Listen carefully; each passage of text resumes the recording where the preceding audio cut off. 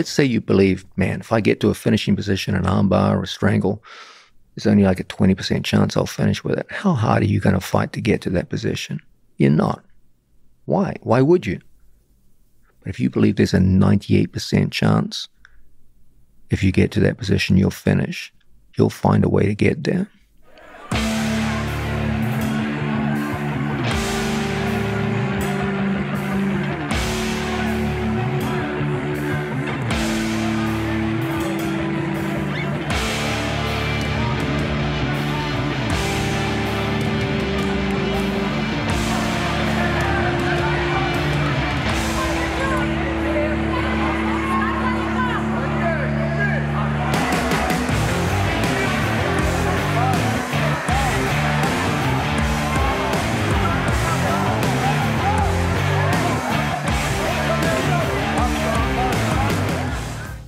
This is the idea of identifying competition in terms of its normalcy.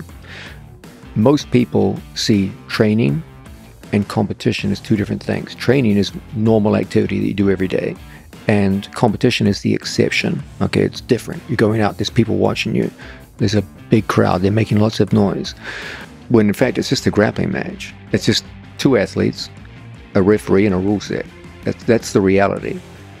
Now, what they try to sell you is something which is not reality, which is this is somehow bigger and different.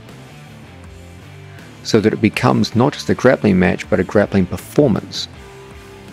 There's only one reality you, him, and the referee reinforcing a rule set. That's it. Everything else you see the smoke, the fire, the music is an illusion. And it's put there intentionally to make you feel a certain kind of way.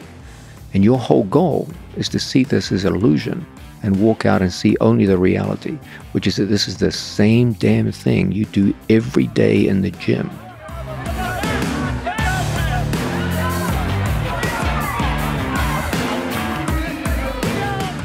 The only difference is you're going with a guy you've never grappled before.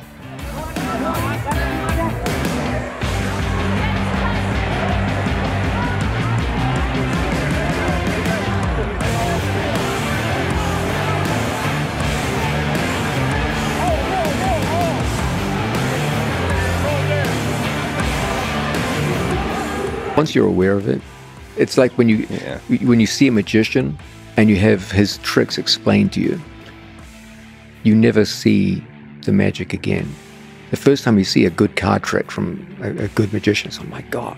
Then when they explain it to you, I, I, did this, this, and that. Step one, step two.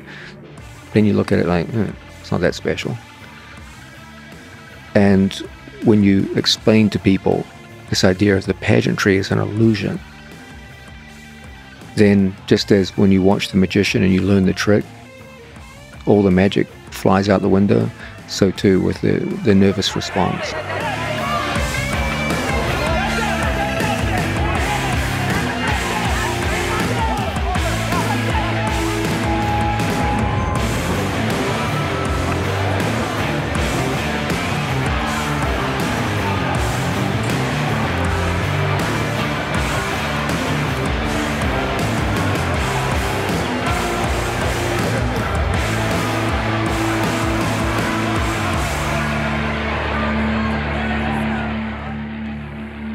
People tend to see things like confidence as a mental state. It is, but it comes out of the performance of physical skills.